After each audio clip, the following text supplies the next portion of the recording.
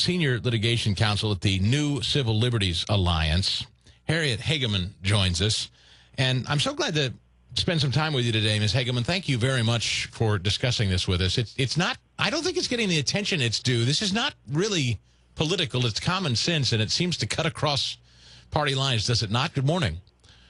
Well, good morning, and thank you for having me, Chris. And I would definitely agree with you because I think it will affect a lot of women and girls as we go forward in a variety of venues. And you pointed out one, which is uh, dealing with sports, but it, it isn't just limited to that. So I do think it's an important issue, and I appreciate the opportunity to be on your show.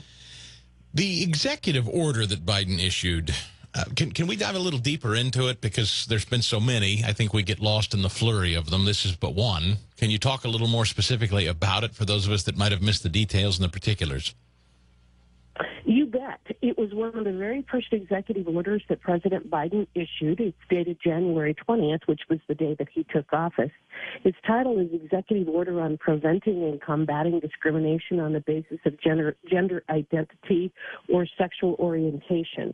And what it does is um, executive orders don't have the force and effect of law in and of themselves, but what they do is they direct the federal agencies to take certain actions. This one requires that the head of each agency shall, as soon as practical, uh, consider whether to revise, suspend, or rescind such agency actions or promulgate new agency actions as necessary to fully implement statutes that prohibit sex discrimination and the policies set forth in, in this particular uh, executive order. It basically is going to erase the differences or attempts to erase the differences between men and women and boys and girls. And we all know that there are biological differences between men and women and boys and girls, regardless of, of, of what an executive order may say. I would argue that the very foundation of this executive order is flawed because it relies on the Bostock decision that was issued by the United States Supreme Court a couple of years ago. And in that case, uh, Justice Gorsuch specifically stated that it does not necessarily apply to these types of things. He said that uh, it only applied in the Title VII context. It does not apply or does not, uh, it's not intended to apply in the Title IX context, which is what we're talking about. Harriet Hageman with us from the New Civil Liberties Alliance. This is uh, an interesting thing because, uh, from an activist point of view, I mean, I know you're here to look at it through the legal prism, not necessarily political.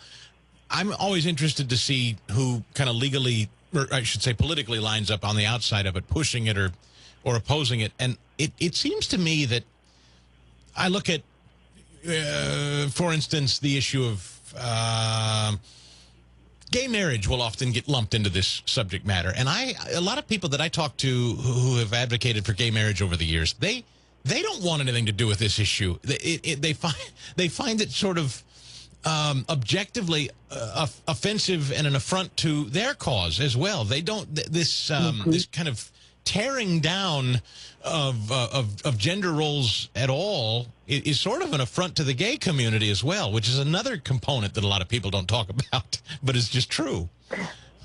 I, I agree with you. I, I agree. It definitely crosses a lot of party lines. And I think one of the questions many people ask, which is kind of what I'm hearing in your voice, is why are we doing this? What is the purpose of this?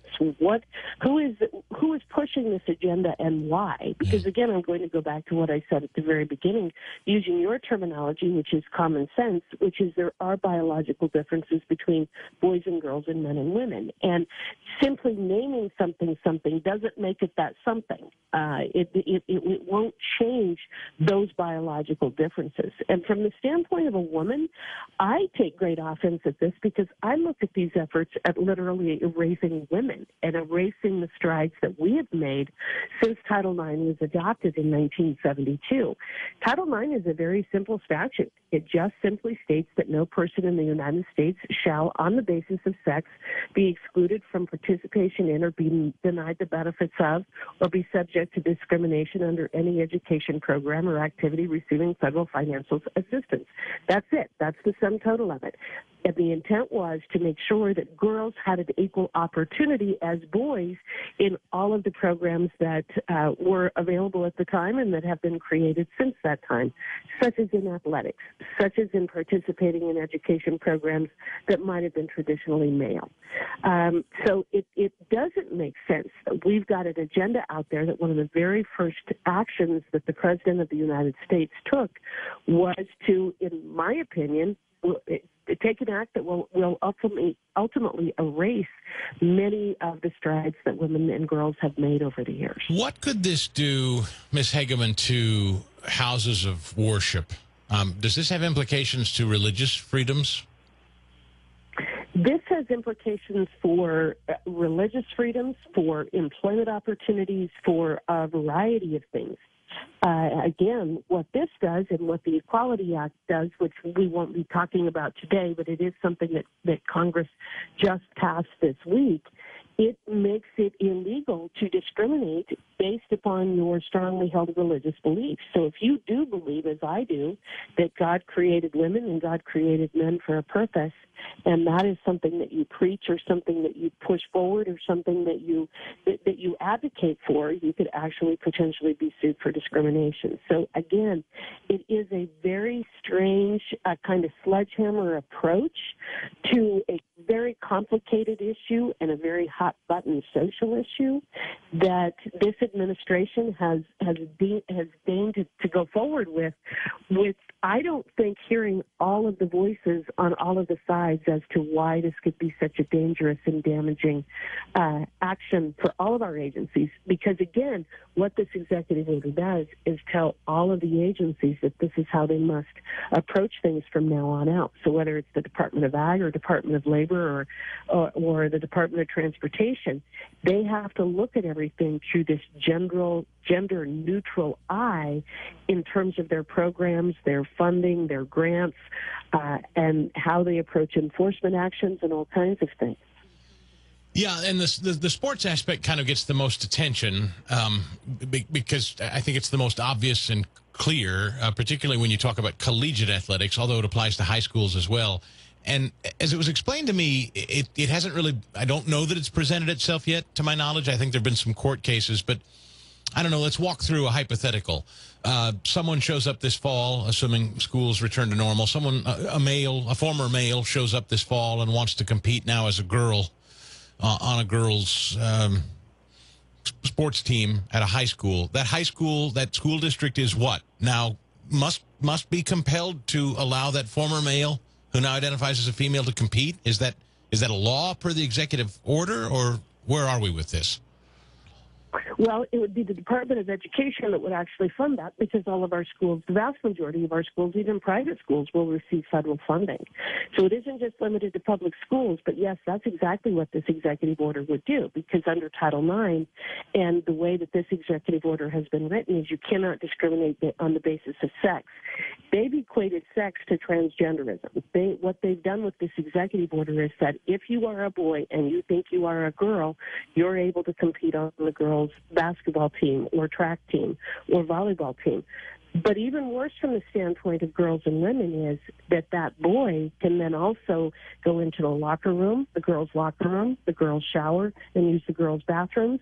And if they go on overnight trips, that boy is not only allowed to, but they are mandated to allow that boy to sleep in rooms with girls. So it, it goes well beyond even just competing in sports, which we all agree. And again, being a, a young woman who was one of the very first beneficiaries of Title IX, I, I entered junior high in 1975, soon after Title IX was enacted, and was able to get our school to, uh, to, to provide more sports opportunities and education opportunities for girls as a result. So this even goes beyond just saying, okay, well, this boy says he's a girl, therefore he can be on the girls' girls basketball team. This says that for all purposes, that young man must be treated as a girl, including in shower situations, bathroom situations, and overnight uh, hotel trips. So I, I, think that there are so many, again, uh, unanswered questions, but also it, just looking at it at its face, you have to say, what in the world and why has this administration gone this extreme on this issue? Harriet Hageman, Senior Litigation Counsel at the uh, New Civil Liberties Alliance. I hope we can stay in touch on this issue. I certainly not going away, so I hope we can continue to stay in touch on it. And, and as as we sort through it, you will be a uh, a clear voice, uh, I hope, and a clear head on it. Thank you so much. Thank you for having me.